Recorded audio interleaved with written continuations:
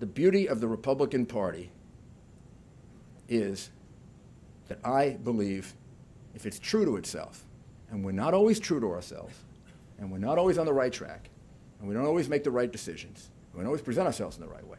But the beauty of the Republican Party is it believes in freedom, really believes in freedom.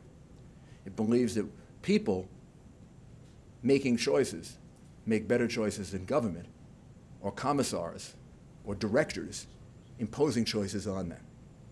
And I describe it, for me, being, as you can tell, a very parochial New Yorker, I describe it like the New York skyline, which people tell me is so beautiful.